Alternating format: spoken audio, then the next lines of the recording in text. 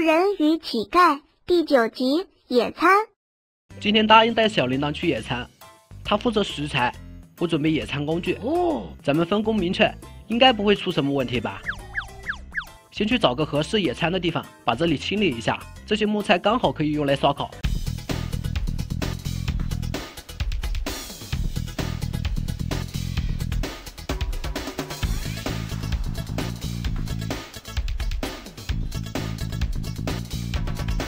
篝火、箱子，晚放这。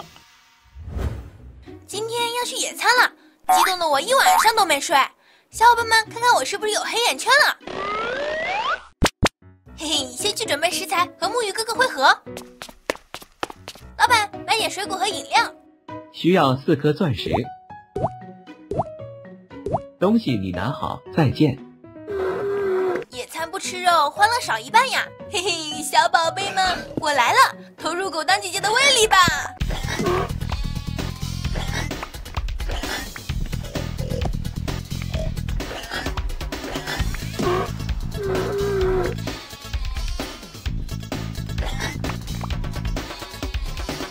猪肉、牛肉、羊肉，我感觉我已经闻到香味了。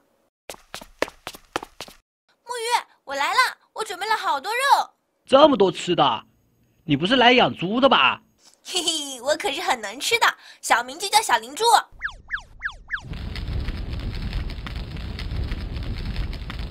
好吧，我已经生好火了，你把食材放箱子里，我来烤。你去旁边玩吧。好的，那我去玩了。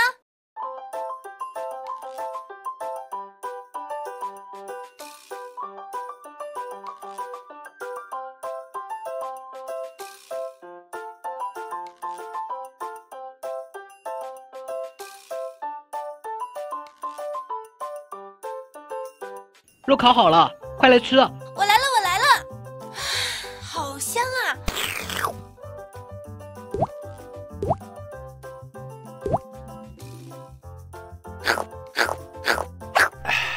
这也太好吃了，木鱼，你简直就是厨神！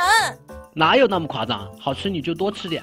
嗯嗯，好，你也吃，边吃边烤。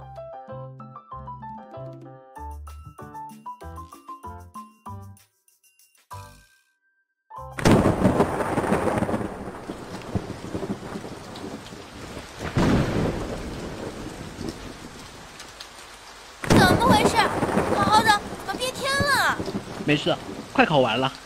我速度快点，咱们找个地方躲雨。好的，我先把东西拿过去。给，这些都是刚烤好的，我已经吃饱了，剩下的交给你吧。好的，谢谢。那我就不客气了。吃了这么多，你不撑吗？这些都是洒洒水啦，我还能吃得下一头牛。厉害呀，果然是小灵珠。啊！我再也不要和小铃铛待在一起了。